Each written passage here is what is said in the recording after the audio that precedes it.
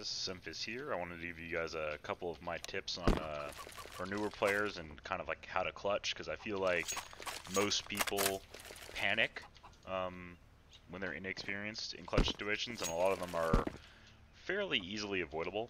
So um, I'm just going to start off with a really basic one.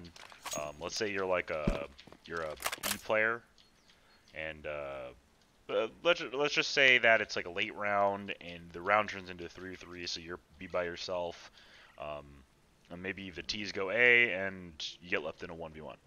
So this is kind of the worst scenario for you to be in in a one v one because you are literally as far possible away that you can be from the other bomb site. It's late round, so you likely don't have many grenades, and he probably has a decent idea that you're not super close, so he can plant and go wherever he wants. Um, in these type of scenarios, um, the advantage is greatly on the terrorist side. Um, a good player should win like 80% of the time. Uh, so, in my opinion, depending on your economy, um, if you have a lot of money, you can kind of play more YOLO, but like, let's say it's kind of a close game, you might be better off doing something like you flank banana and you just walk. Um, if if you don't have many nades and you don't pick up any on the on the wall, not a bad idea that you'll see a lot of players like s1mple and some of those people do is they'll they'll just walk around and just hope to get lucky. Like basically, you don't know where he is, but you're gonna walk and you're probably gonna lose from time um, if you don't get lucky and find him. So you'll just kind of come out. Maybe you drop down over here. Uh, you tap the bomb. You kind of hold for a bit. You don't find him. You just run and save. Like you have to play it how it is. It's in his favor, so you kind of have to do something a little bit risky. Um, if you end up having to save, it's not that big of a deal. Um, you were probably going to lose anyways.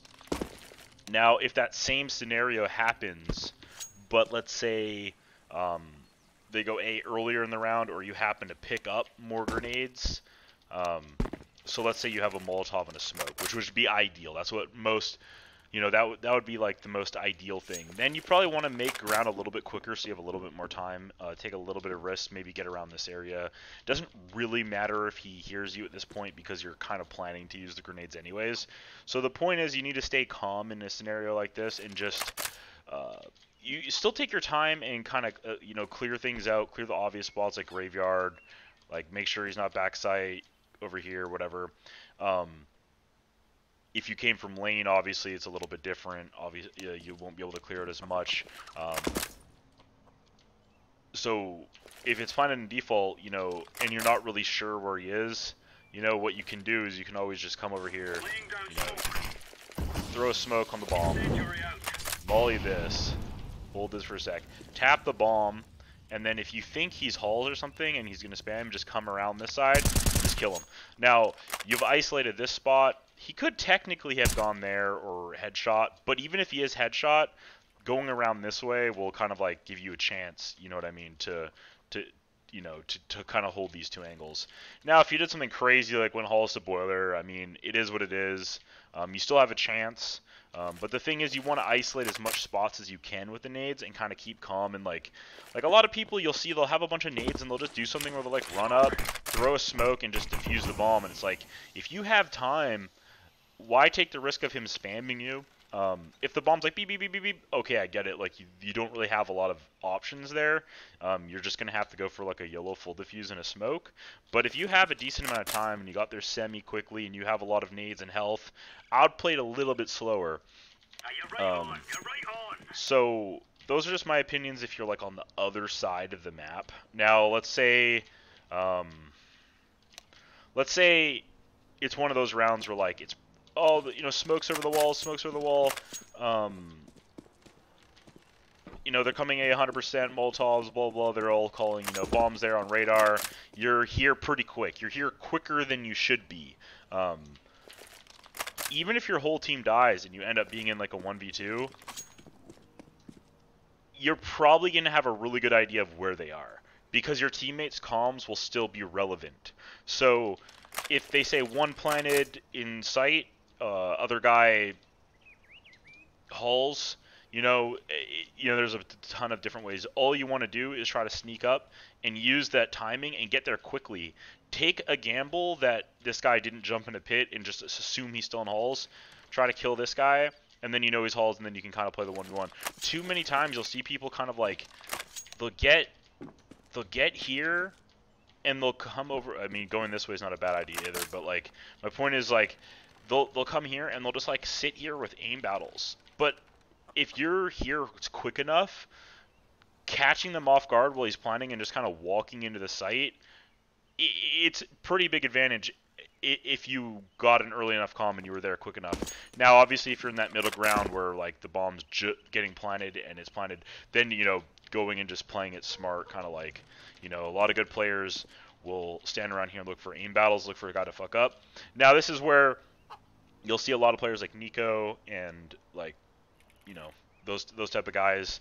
Um, when they rotate over, they don't just run in the site and try to kill someone. They wait and they try to let people fuck up. You know, they'll sit around here for a while. They'll sit around here. They'll, they'll take some shots. Um, another another thing you'll see a lot of good players do is say there's a guy here and there's a guy at this box. What they'll do is they'll like they'll shoot at this guy. This guy will peek. That guy will hide. He'll, they'll go like this and they'll come back and wait for the repeak. It's very, very important that you get good at doing this if you're going to be one of those guys that's left in late round situations. It works on T, it works on CT, kind of like just everyone's natural instinct, or it should be, is to help their teammate. So this guy might be full hiding, um, and he's going to wait for contact, right? As soon as contact happens, he's going to swing. This is a good play, right? This guy's fighting, this guy's fighting, but you use the wall kind of to your advantage, you know, kill this guy, then you're in a 1v1, you know, then you can kind of just play the 1v1. Now, this is still pretty hard. This is like a 50-50. It just depends on how he plays it and if you hit your shot, you know, like, it, it's... I, there's, there's nothing special you can do if you don't have any nades. So, um, th- those are just my opinions on like some of the little things you can do to get better um, at those rounds. Just taking your time. Now, the biggest mistake that people make is when you've lost there, there's times you know you've lost. This guy hits you to 10 health. There's a dude in sight. You're not winning this round unless they just whiff or you hit the most miraculous shots ever. Just save. Just save. Just take your loss. It's fine. Just run away. Just run away. It's it's totally fine to run away. Um, saving in this game is you, you can always win around, especially on a map like Inferno with small corridors and stuff. Like, I know it's T-sided, but, like, even having a gun and a couple CZs on the next round, you know, it's still always a potential to upset, um, you know, a team. So I would just take it, save, maybe pick up some nades if you if you have them, and just, you know, take your gun to the next round.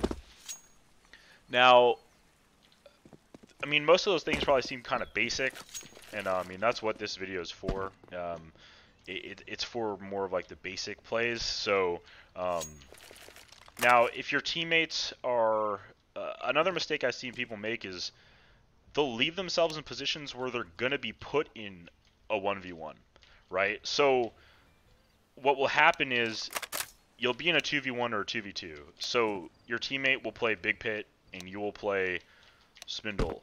In my opinion, this is not really the smartest idea because you're you're both left in like terrible spots where you're really far from each other. Um, in a 2v1, where there's two, a 2v2, it's a little bit different. You can make a case for, for playing separate. Um, in a 2v1, I really like people sticking together more and just letting them get a free plant.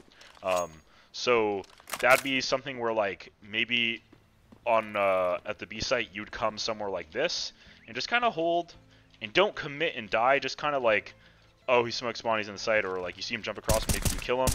If your teammate's over at A, maybe he plays towards the arch side, just kind of spotting, and then you guys just group up. Um, obviously, these are just kind of like on the fly things, but like, don't you don't need to always be committed um, in a 2v1 because then you leave yourself in really bad 1v1s. 1v1s on Inferno are very hard to win, um, especially when the T has a lot of time to reposition.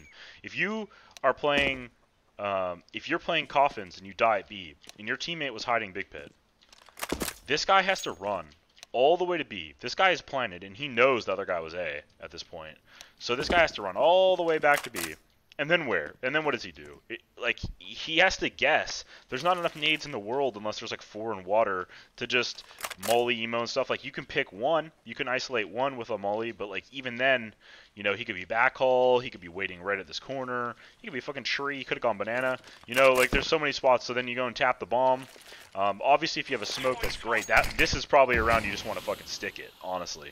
Um, but my, my point is, is that you're leaving yourself at huge disadvantage. So trying to avoid even getting in a 1v1 um, is probably ideal in this situation. So um, doing kind of what I said, where you kind of like give up the, both the sites with just some eyes, um, even in a 2v2, you know, it's not a bad idea. Just let them have the site. It's fine. Like, okay, try to do some damage to the smoke and then group up. It's a, it's a little bit safer, right? Um, everyone has different playstyles and different philosophies, but that's just my opinion on it. Um,